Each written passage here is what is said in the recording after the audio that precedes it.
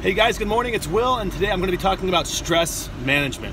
So, um, stress management, guys. Um, where do I start on this? I mean, this is a tough thing these days. Everybody's dealing with, uh, you know, some sort of stress, and, and with the way that uh, technology has spun things up. That there's a lot of things um, kind of tugging and pulling at our attention span. Meanwhile, we got to try to get work done and maintain social relationships, and also maintain uh, relationships with the people that we're closest to, you know, and a lot of times the stress um, that we're dealing with is created by uh, any one of those things, um, you know, and for a lot of people, it's usually a relationship based thing first, you know, um, especially some of the people that seem to voice um, they're stressed the most, it's because they're going through some turmoil at the time and things are very chaotic. So, you know, um, here's the thing with stress and in, in, how you handle it. Um, you can choose everybody's going to deal with stress all right? Everybody's going to deal with it in their lives. I mean life is not supposed to be an easy thing okay? Um, you know pain pain's going to be inevitable in your life. It's go, you're going to encounter pain in stressful times and no matter what you're dealing with whether it's a divorce or a custody battle or a uh, relationship breakup or you're not in the job you want that's something that literally millions of people have had to deal with before, so it's not a unique situation, okay? Um, I know you feel like it is, but it's all about how you decide to, it's all about your mindset and how you decide to take this. So are you going to be a victim or are you going to be a survivor, okay? Um, are you going to, you know, let this run you down um, and you're going to focus on the things you can't control that someone else is doing to you, someone else is trying to do to you? Or do you want to focus on the things you can control and use this as an opportunity for it to be part of your story. You know, um, you know, that's a, that's a big that's a big thing, guys. I mean, like you got to look at this like this is a you're writing you're writing your book right now, and everybody in their life is going is, is facing some major battles. Okay, um, I forget who said it, but you know the quote about like everybody in their life is fighting a great battle.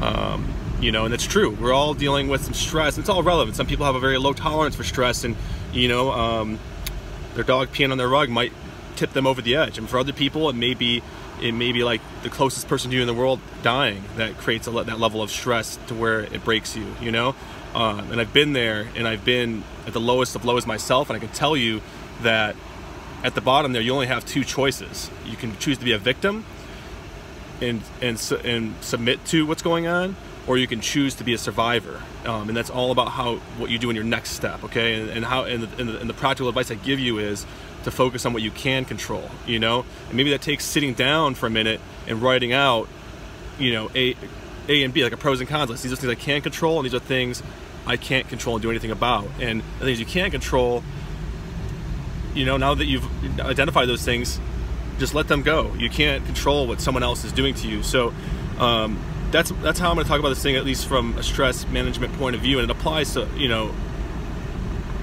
how, whoever's putting that stress on you. You know what I mean? And that's you can't do anything about that. Okay, um, stress is almost self-created. Like I said, it's it's um, pain's inevitable. You're going to encounter it. You know, somewhere in your life, um, and it's just your choice to be a victim or a survivor. You know, and um, one of my favorite quotes, and I remember saying this from a very very young age. I forget who who told it to me, but. Uh, sunshine wouldn't be so special if it wasn't for rain. So you have to go through these times in order to appreciate the good times. And the good times will come back. You know, when uh, when I dealt with my depression a couple years ago, um, I never thought I was going to get out of the negative spiraling thoughts. I never thought they were going to go anywhere because it was almost like they were automatic. Um, and uh, sure enough, I, I, sit here with you guys today. You know, when someone asked me to do, you know, Chelsea, I think it was Chelsea Sloan, one of our members, asked me to, to do a video on stress management. You know, able to dig in and, and look for the the positive advice I could share with you. And I couldn't have done that a couple years ago. Um, so like things do turn around. Um, and now I can look at myself as a survivor. It's part of my story of what I've been through. I've been to the dark side and um, I've experienced what that's like. You know, you guys got to do the same thing. Okay. So um, that's my advice on stress management, guys, and how to handle it. It's all about mindset and how you approach it. Um, hopefully that advice helps you uh, get through it. And this does apply to your fitness because, you know, one of the you know one of the great places you can, a great practical outlet for your stress is your fitness. You know what I mean? Like the physical body these days um, is not getting enough stimulus to let out those adrenal adrenal responses we're getting from stress and the stimulation it causes. So what's going on is your body's storing it up and, and, and it's just like a little baby. It's going to choose to use its energy positively or negatively depending on the outlet that you give it. So you have to give yourself positive outlets to express that stress. And one of them is going to be, you know, your food and, and maybe diverting that energy into like making conscious decisions about your food and making better decisions. Another one's going to be your fitness. I mean, that's a primary one. You can physically let out that energy.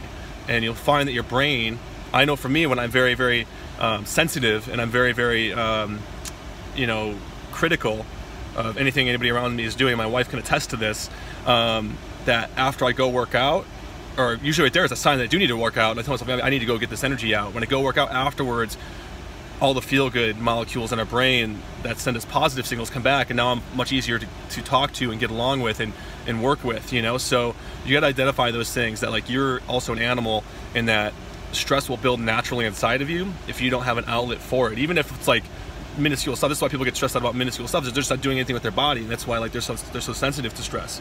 So, um, take that advice, guys. Choose to do with it with what you will. It's it's going to be work. You know, it's always work. Uh, you know, the advice is is the simple part. The mindset is the simple part. Like the framework is the simple part. You guys have to put the rubber to the road and apply these things for them to happen. Okay. All right. Have a great day. It's Monday. Get to the gym. Uh, get a great workout in. Plan to be here again tomorrow or Wednesday. Get at least three days a weekend so you can feel awesome um, and feel productive and have and, and give yourself something you can control in your life to help divert that stress, okay? All right, have a great day. Bye.